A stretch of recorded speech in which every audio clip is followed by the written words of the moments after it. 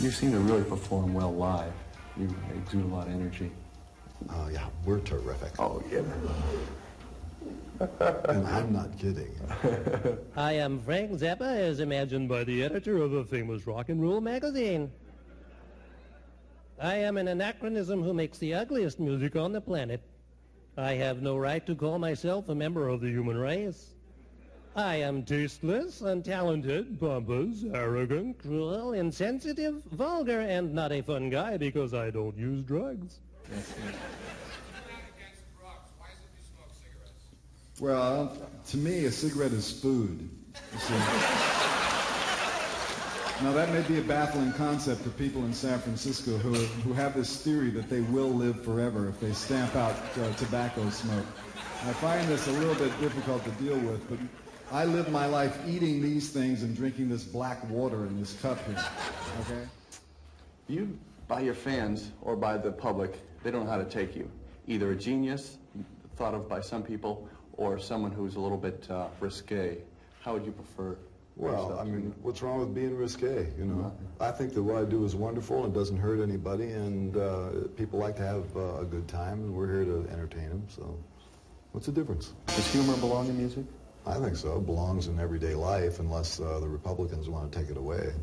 Republicans, when they go into office, because it takes a certain amount of pressure to force a person to be, become a Republican in the Yeah. first place. We have to feel a little sorry That's for true. them. We do. And it's a lot of terrible pressure that makes people become Democrats, too.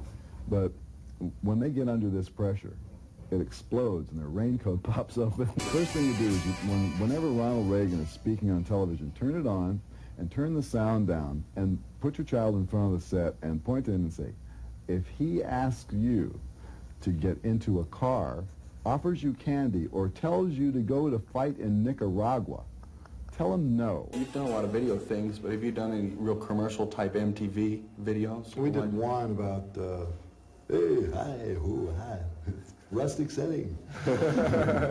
um, we did one uh, in 1980 for a song called You Are What You Is. Yeah.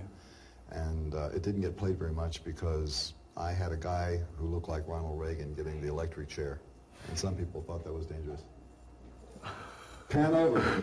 One more time. One more time.